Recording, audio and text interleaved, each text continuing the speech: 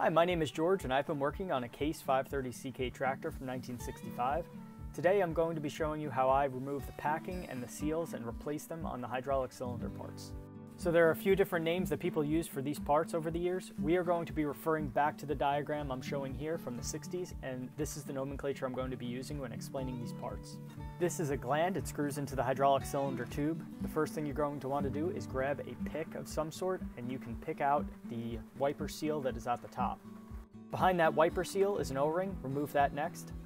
The main seal or packing on this gland were very old as well as the backup ring and so they ended up coming out in pieces.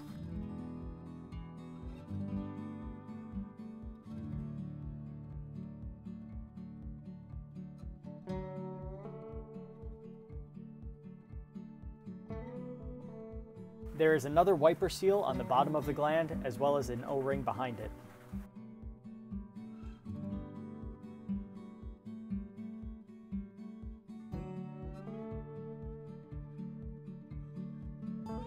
On the exterior of the gland, there's another O-ring as well as a backup ring.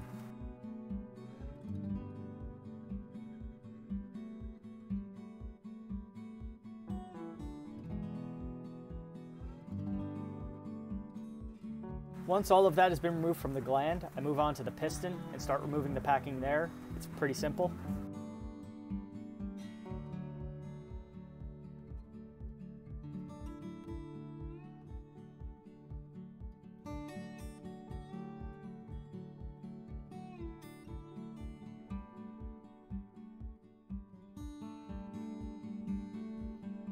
After cleaning both the gland and the piston with some kerosene, it's time to install the new seals.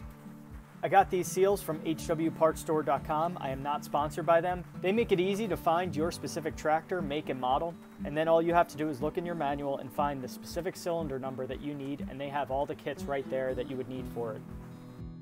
You want to make sure that these seals are going in wet, so I just keep a small cup of hydraulic fluid right there on the table while I'm working. The first O-ring I'm installing goes right behind the wiper seal.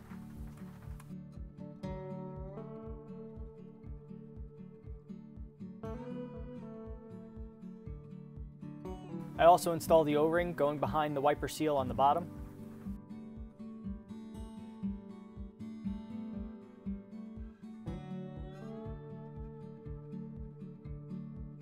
Next I install the backup ring, which goes directly above the packing or the main seal. This feels like felt paper when you're installing it, so just be careful because they're not very stout. The good thing is HW Parts Store does send a few extras with it.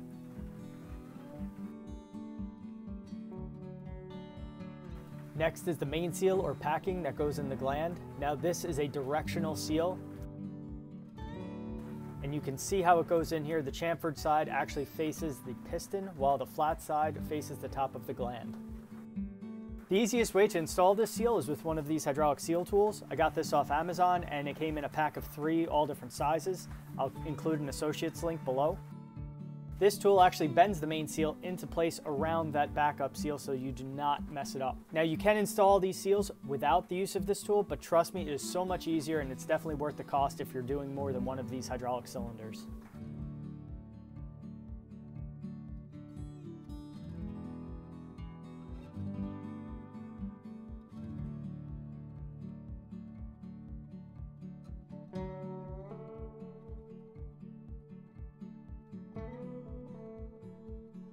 Next up is the wiper seal. You want to make sure to install this with the thin part facing outward of the gland.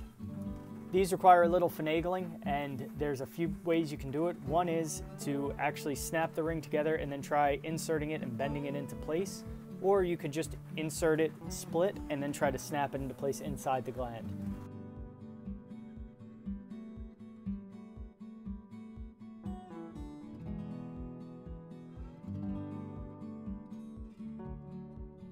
There's also a wiper seal on the bottom, and again this thin banding faces outward of the gland.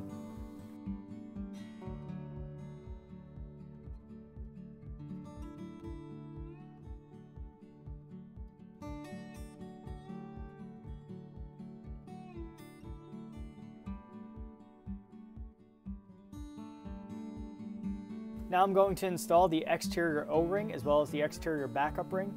Easiest way I found to install these is to just work your pick in between the gland and the ring and work it around consistently and then that way you're not stretching them out.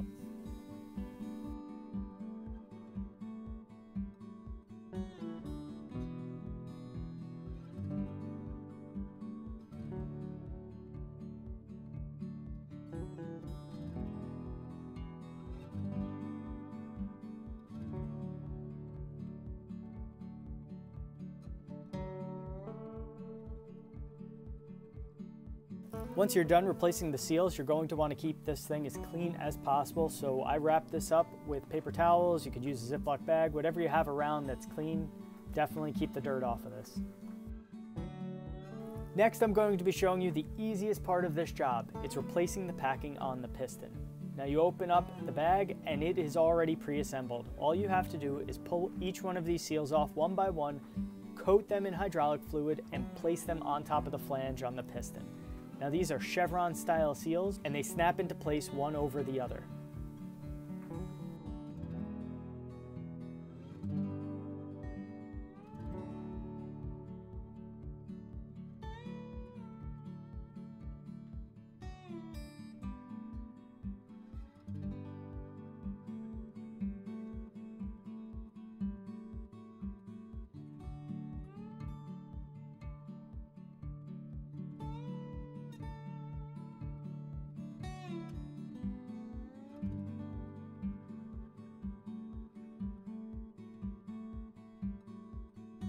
If you're working with hydraulic cylinders, be sure to click on this link to watch my next video showing you how I make a do-it-yourself hydraulic puller that helps you get your cylinders apart pretty easily. I hope you learned something and always check your smoke detectors because they do save lives.